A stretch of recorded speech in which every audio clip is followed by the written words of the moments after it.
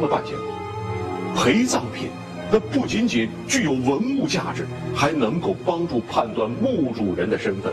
开这个棺盖的时候，棺盖密封的特别的严实，三四个人用力都没有撬开，最后还是用挖掘机的铲子才把棺盖给打开。这个细节说明什么呢？证明了墓主人这个身份呢非同一般。可奇怪的是，翻遍了史书，也找不到这个叫黄竹吴的人。那么，这口棺材会不会告诉我们？八字解读人生，风水改变命运。大家好，居士从业风水二十六年，很多人通过我的调节都获得了巨大成功。针对八字测算、风水布局、命理分析、事业财运、手相面相、感情婚姻，有独到专研见解。如果你的财运不佳、情感不顺、诸事烦心，原主可添加本居士微信二六六八二一三五，一一帮你调节化解。记住微信二六六八二一三五。呃，那个皮肤啊，呃，还有那个头发都保，尤其头发保持的非常好。皮肤这块也没有腐烂，只是就确实有点变黑了，有的地方还发黄。然后呢，我们呢用手去当时摁的时候很有弹性。时候，一个惊人的发现却彻底推翻了这种假设。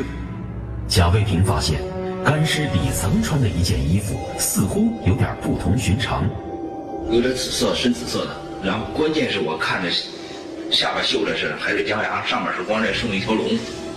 我们就没有敢再打开，看到这之后，我们当时就感到挺震惊的了。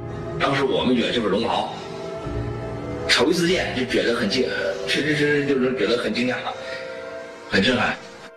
在封建社会，龙袍那是只有皇家才能够享用，即使道士地位再高，皇帝也绝不可能把龙袍赏赐给他们，强烈抵制。我们传统不是讲吗？身体发肤受之父母，怎么能够啊随随便便的轻易就剃掉呢？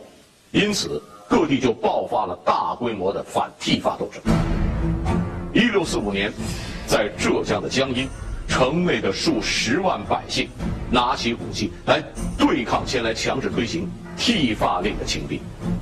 这场斗争持续了整整八十一天，虽然以江阴人的失败告终。但是，也使清军折损了三个王爷、十八名大将以及数万的士兵。满清统治者为了缓解矛盾，最后做出了让步，提出了剃发的十从十不从，其中有一条就是生从，死不从，全适用。按一般来说是五爪为龙，四爪为蟒，但是呢。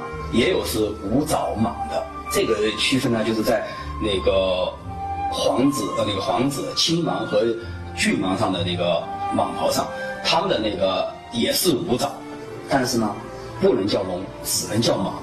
也就是说，同样的五爪龙形图案，穿在皇帝身上叫龙，而穿在其他人身上就叫马。